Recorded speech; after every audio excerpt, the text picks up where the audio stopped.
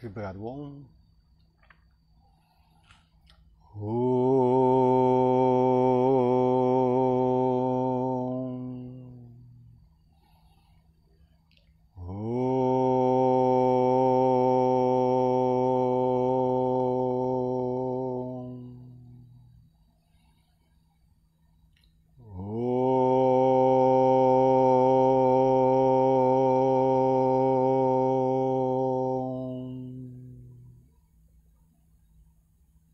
आसतो मा साद्गमाय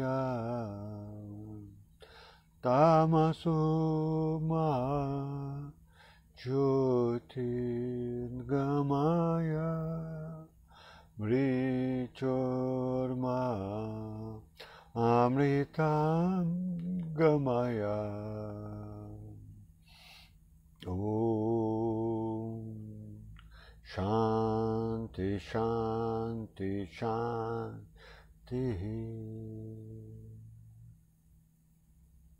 Ó Senhor do irreal, conduza-nos ao real, das trevas, conduza-nos à luz, da morte à imortalidade. Paz, paz, paz. Namastê, boa noite. 105 dias de expedição pela paz, São Luís do Maranhão. Já em ritmo de desmontando a estrutura da Divina Van aqui do acampamento. Estou cansado, é, sempre dá muito trabalho. Boa noite, Maria Aparecida, boa noite, Juliana, boa noite, Virgínia Maura Ferreira, seja bem-vinda. Sempre muito trabalho, desmontar, já está todo desmontado. Hoje foi um dia um dia um pouco cansativo, mas pedalei, pedalei 12 quilômetros. Foi um bom passeio. Estamos nos preparando para segunda-feira ir embora. Amanhã vai acontecer o workshop de respiração. Eu vou procurar passar ao vivo a partir de 9 horas da manhã. Vou tentar fazer ao vivo aqui pelo Instagram. Vamos ver se vai, vai dar certo. É muito tempo de aula. É de 9 ao meio-dia, de 1 e meia às 4 e meia. Vamos ver se vai dar para passar ao vivo. Então vamos à leitura. O mosquitinho me pegou aqui. O processo de iluminação de Milarepa.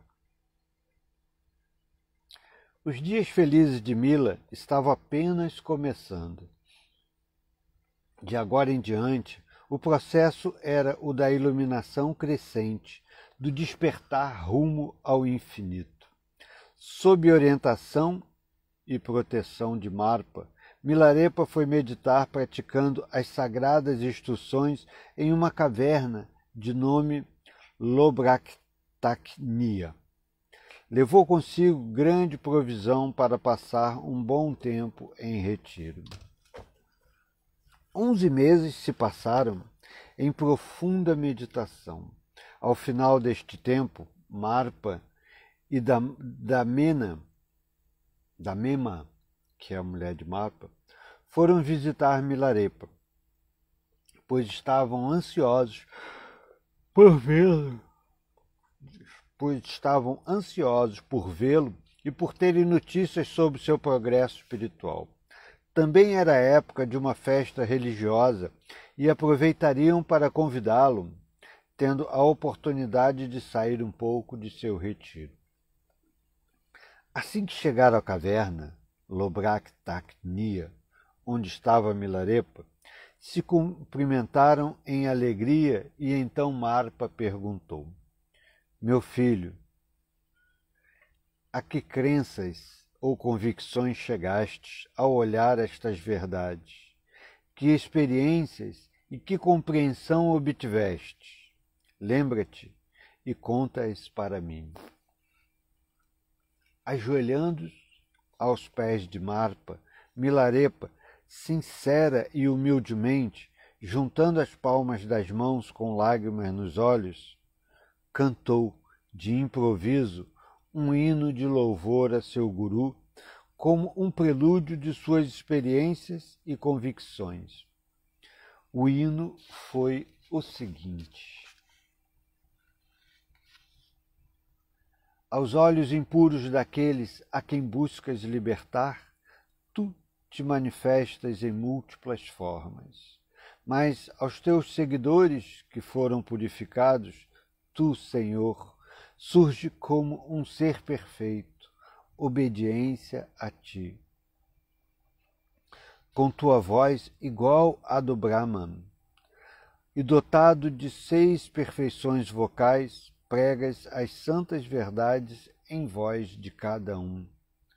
Completa nos seus oitenta e quatro mil assuntos obediência à tua palavra, audível, embora inseparável do vazio. Terceiro, na radiância celeste da mente do Dharmakaya, não existe sombra da coisa ou do conceito, mas ela invade todos os objetos de conhecimento. Obediência à mente eterna e imutável. Quarto, no palácio sagrado dos puros reinos espirituais, tu, pessoa ilusória, embora imutável e desprendida, tu, mãe divina dos Budas, passado, presente e futuro, ó grande mãe da Mema, curvo-me ante os teus pés. Quinto, ó Guru, a teus filhos espirituais, aos teus discípulos que obedecem a tua palavra, a cada um deles, com todos os seus seguidores, preste-me humilde e sincera homenagem. 6. O que quer que haja, em todos os sistemas dos diversos mundos, para servir como oferenda nos ritos divinos, eu te ofereço, junto com minha própria forma carnal, possa eu me livrar purificado de todos os maus pecados. 7. Nos méritos obtidos por outros encontro alegria. Portanto, põe a roda da verdade em movimento. Eu peço. Enquanto o lago rodopiante do ser não for cheio, ó nobre Guru, não partas do mundo. Dedico todos os méritos deste hino à causa do bem universal. Após cantar o hino, o admirável Mila, Milarepa, disse a Marpa: És inseparável do próprio Dorje Chang, o meu guru, com tua consorte e tua progênie em virtude de teus feitos justos e meritórios e do poder das ondas da graça que procedem de tua infinita bondade e da tua generosidade imperturbável, eu, teu vassalo, assimilei um pequeno conhecimento na esfera da compreensão que peço para depor a tua presença. Por causa do imutável estado de quietude da verdade eterna, ouve-me por um instante. Compreendi que este meu corpo, tal como expõe os doze nidanas, é produto da ignorância, composto de carne e sangue, animado pelo poder perceptivo da consciência. Ficamos aqui hoje. Deixa eu fechar aqui a janela que chove, molha aqui dentro. Sem todo, não posso ficar de janela aberta. Aqui ficamos hoje. Complexa essa com beleza, com poesia. Essa é uma característica no processo, no processo de evolução espiritual. Surge poesia, surge leveza, surge suavidade. Essa imagem daquele yogi seco, duro, rígido, é falsa, porque o que traz é leveza, brandura, amorosidade, poesia. Veja o professor Hermógenes, como ele caminhou no, na senda espiritual.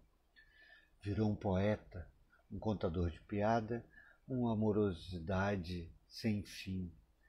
Estar com ele era leveza, brandura, suavidade, serenidade, diversão, alegria. Isso é caminhar na senda espiritual.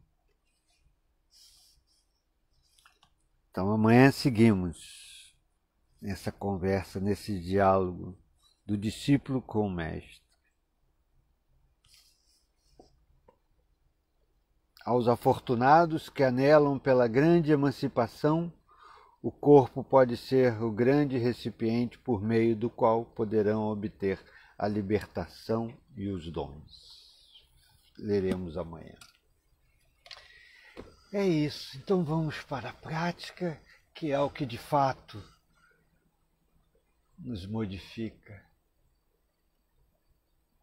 nos aproxima da luz de Deus que há em cada um de nós. A prática simples, com objetividade, clareza, mente focada, unidirecionada, sentidos recolhidos, sem travar nenhuma luta com as distrações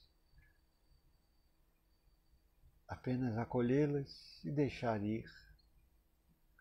Cada pensamento que lhe atrai e lhe distrai, deixe ir, deixe que se dissolva na imensidão da mente. Então assuma a postura, o asana, e damos início à nossa prática meditativa. Como a tartaruga, que recolhe as quatro patas e a cabeça, os cinco sentidos, para se proteger. Recolhe os órgãos dos sentidos, retire-se do mundo lá fora. Vá para dentro, vá para dentro, para dentro, para dentro. habitando a sua morada da paz em seu coração. E passe a contemplar o fluxo da respiração. Sinta o impulso respiratório. E registre com o sorramo, esvaziando a mente de todo o resto, mantendo a mente concentrada, unidirecionada desfrutando da quietude, da contemplação, do impulso respiratório. Sou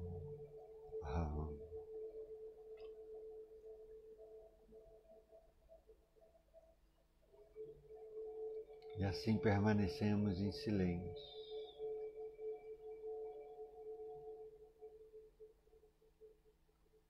so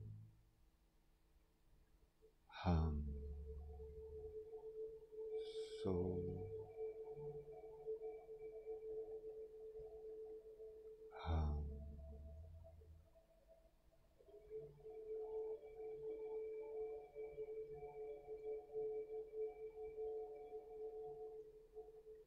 que você possa habitar a sua morada da paz em seu coração esse oásis aonde você chega para se nutrir, repousar, refrescar a mente, o coração.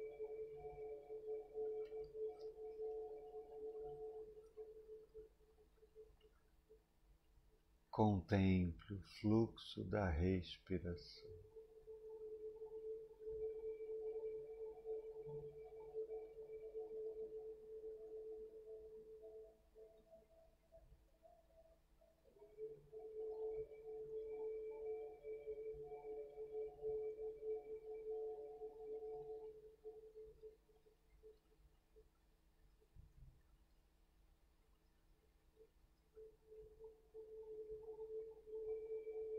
Se você tem familiaridade, Sustente o Mulabandha como um suporte da base da manutenção da coluna ereta e do movimento de ascensão da energia.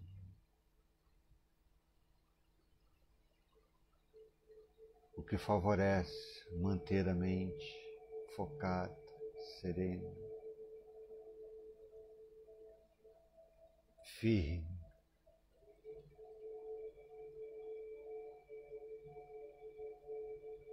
So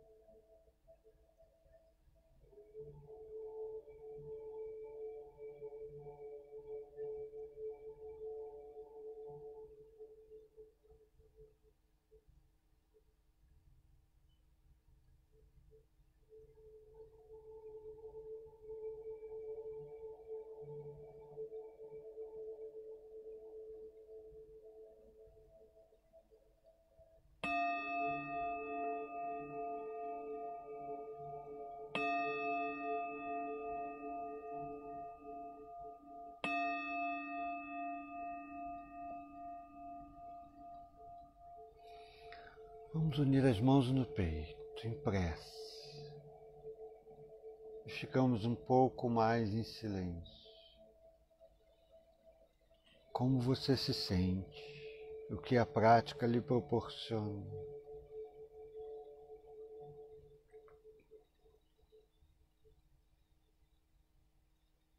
Esteja consciente de si.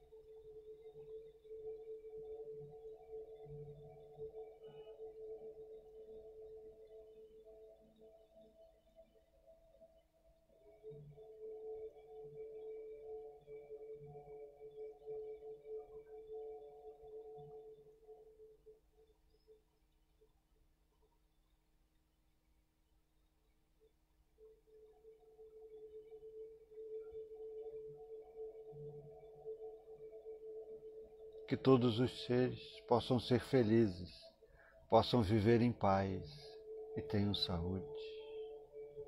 Encerramos vibrando o Om Shanti. Inspira. Om